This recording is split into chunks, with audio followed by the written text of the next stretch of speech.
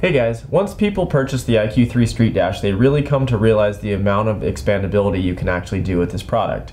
So what I'm going to do today is I'm going to show you guys how to add any sort of additional VNet sensor to your IQ3 Street Dash and then also place it onto the dash into a different location. So what I've done here is is I've taken a just a generic, uh, this happens to be a trans temp module and sensor, and we're going to go ahead and add it into our IQ3 data logger here. Um, this happens to be the IQ3 Street Dash, and so uh, what I've done is I've gone ahead and kind of mocked this up here and uh, got some power to it so we can show you how to do this. But essentially, you're going to take your VNet module and you're going to take it to the rest of the stack or onto the VNet port onto the back of the dash. I'm going to go ahead and plug it in. And then you're going to string your programming cable from the back of your dash to your laptop. And then from there, let's show you how easy it is to do some programming. So the first thing you're going to do after you've plugged in your VNet module to the back of the dash and your programming cable in and powered it all up is you're going to go over here to your DataLink 2 program on your laptop. And we have to open our car configuration for the particular dashes we're working with. So in this case today we're working with a IQ3 Street Dash. So I'm going to click File and then Open Car Configuration. And in this particular computer, I have a bunch of different configs, but um, the first one here is IQ3. And then as you can see, there's a ton of different IQ3 models that we offer. But in this particular case, we are using the IQ3 Street Dash. So you want to make sure you click IQ3 Config Street and then click OK. And then from there, um, you may have some channels that pop up, you may not, depending on if you've already read it into the system or not. So essentially, uh, you have your IQ3 street channel, engine RPM, speed, gear, coolant, oil temp, etc., etc. All the channels that come basically built into the uh, the IQ3 street. But in this case, what I'm going to do is I'm going to add an additional sensor. So with everything powered on, I'm going to go up here. And I'm going to go ahead and click Edit in the upper left corner, and I'm going to click Read new channels. And then what's going to happen here is it's going to ask you, is this configuration set as your default on your computer? What that means is, you know how we went through and we did the file open car configuration? We can have it to where this, this config is automatically always prompted when you open up your software. Now in my case, I use a lot of different configs on this computer, so I'm going to not make the above configuration, but I'm going to perform the requested operation this time only. If you would like to default it, just go ahead and click this one. Um, it doesn't matter either way. It's it's up to you. Um, in this particular case, I'm going to click Do Not. And then from there, it's just essentially going to uh, scan through and add additional channels. So what it did here is it says, it, it appears that you've added a new sensor. Um, would you like to add it to your new time telemetry window? Um, let's go ahead and push yes so that way you guys can see how to do this. You can click no and it won't affect anything, but if you guys run telemetry from your laptop to your dash, this is something that you will want to do. So I'm going to go ahead and click yes. And then your dash info page is going to pop up here. And then what you're going to want to do is you're going to want to click the little dash info tab here.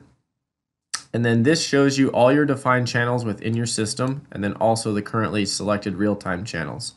So I went ahead and uh, scroll through here and I, I know I added a trans temp. So I'm going to click on it here, highlight it in blue, and then I'm going to click this little arrow pointing to the right.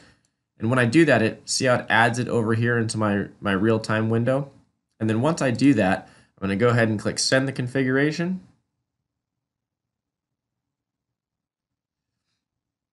And go ahead and click OK, and then OK to get out of that box. And again, all that did was is add it to my real-time telemetry window if that's something that I go ahead and run. You don't have to do that part. Um, that's completely up to you. But see now how we have a trans temp channel button down here uh, because we've added it to the system via the VNet. Now, if I wanted to go ahead and add this to my dash so I can see it when I'm driving on the car, I'm going to go up here and I'm going to go ahead and locate the IQ3 Street config and I'm going to right click on that and it's going to bring me back into my my uh, dash configuration page here. And as you can see, there's four pages of inputs that you can put for an IQ3 Street Dash or any of our IQ3 products. It'll say display page one, two, three, and four. Um, you can put this pretty much anywhere you want. The only one that uh, I'll make a note and say that uh, you might want to keep an eye on is this center one, the one that says gear. A lot of people try to put uh, you know, say trans temp there or something like that. But keep in mind that this center number on each page is only one digit. So that's why it's used for gear or GPS satellites or something that's either just a zero or a one or one through nine. You can't put a double digit or three digit thing here in the middle. So in this particular case, I'm going to go ahead and uh, I'll just go ahead and add it to display page one. So um, I'm not really concerned too much about battery voltage. So what I'm going to do is I'm going to go ahead, and you can select any of these along the bottom or on the top, it's up to you. Um, you go ahead and select the box, and I'm going to go ahead and change this one to trans temp. So this box is going to pop up and it's going to say channel to display. So obviously this battery voltage there, all I need to do is click the drop down and then just you can scroll through here and see all the different things that you can put there. Uh, in this particular case, I'm going to locate the trans temp which is the additional sensor that I've added. I'm going to click OK here. And it's going to ask me how many decimal points do I want to display after the value. Uh, in the trans temp case, I don't really care about having anything read, say 75.2 degrees. So I'm just going to click make that zero. The averaging filter, which means these these sensors, they sample at such a high rate at 25 samples per second that sometimes the values on the dash can be going crazy, but you can average them so that way it's every fifth or tenth uh, value on the dash. A lot of times this will average out to either 5 or 10. Um, we'll just leave it at 5 for now because that's pretty good. Um, and then see how it says channel tag text bat V currently? Yes, because we had battery voltage there before. So I'm going to go ahead and change this to trans. And keep in mind, everything needs to be capitalized here. Um, that's just the way that the programming is. And then once it says trans, I'm going to go ahead and click OK. See how it uh, in the bottom right here is where we did it. Trans temp is now there. I'm going to go ahead and send the configuration.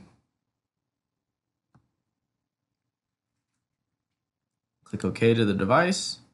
Click OK there. And basically, I'm off to the races. We can double check here and see um, if you can see on the camera there, it says uh, trans temp and uh, 164 degrees currently. Um, that's actually an error code because I don't have a sensor plugged into it, but it's all right there on the bottom right and you're off to the races or off to the burnout box or off to doing donuts, whatever you want to do with your IQ 3 Street Dash. You're good to go. Now you know how to add an additional sensor to it and Possibilities are endless. For more information, be sure to log on to racepak.com or give us a call toll free at 888 429 4709.